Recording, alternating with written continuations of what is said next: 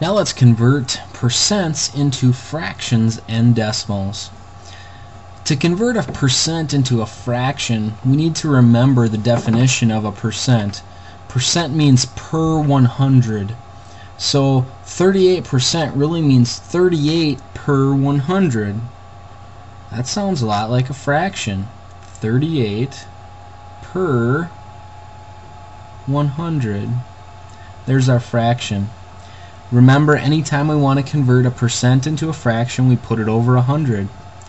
So then we can simplify. Let's divide by 2 on the top and bottom. 38 divided by 2 is 19. 100 divided by 2 is 50. Can't simplify that anymore, so there's our fraction. Let's take a look at this next one. 20%. We want to make it into a fraction.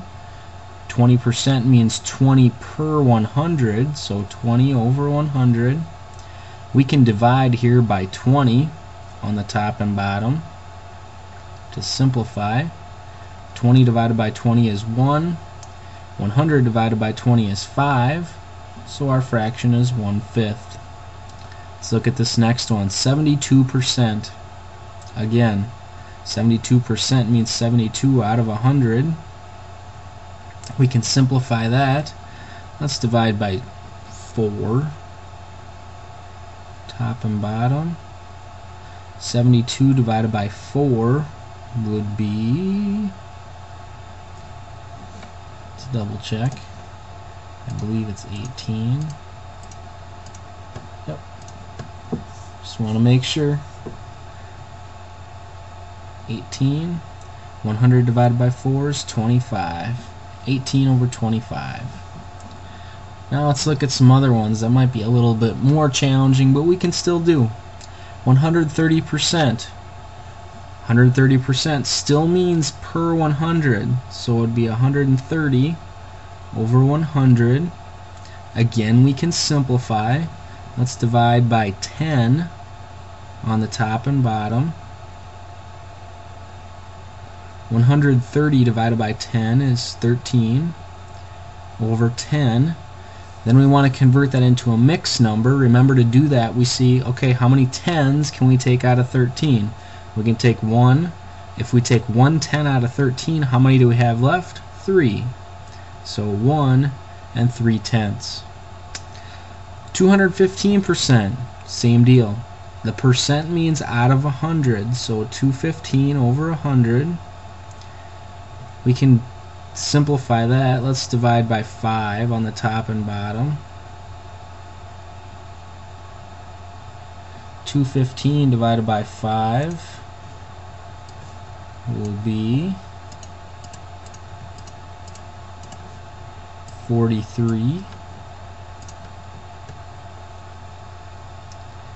and 100 divided by 5 is 20 again we have an improper fraction, so we want to convert that into a mixed number.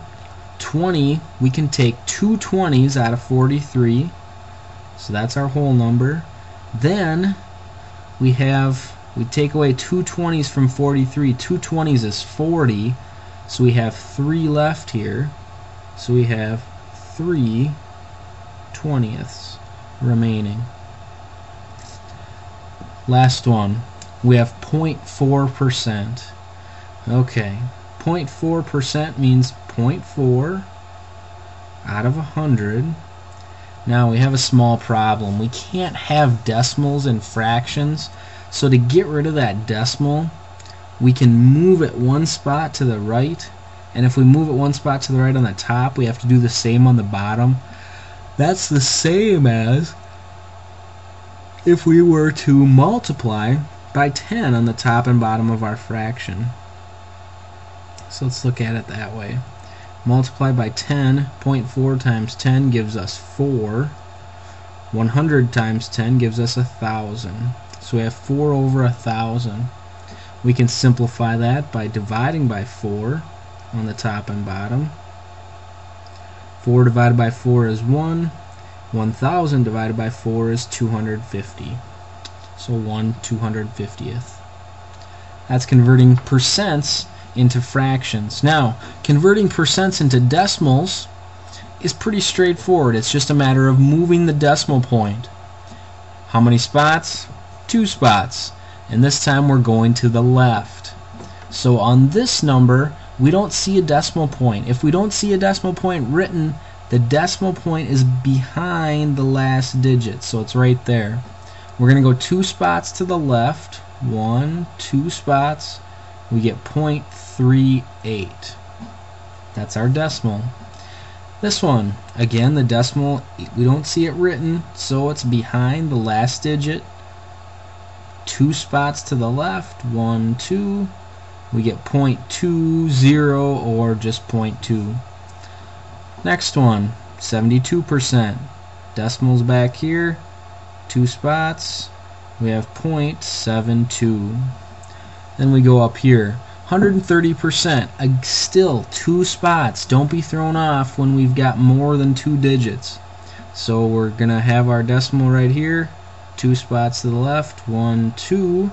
We get 1.3.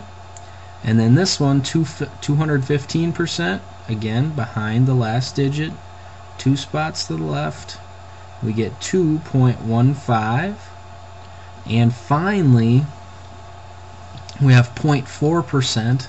Change that to a decimal. Still two spots. Still going to the left. One, two. We got to fill in that zero there. We get 0.004. That's converting percents into decimals. To do that again, remember, two spots to the left, always two spots. Don't, don't be thrown off by how many digits we have going on. Always two spots. Hopefully that helps for converting percents into fractions and decimals.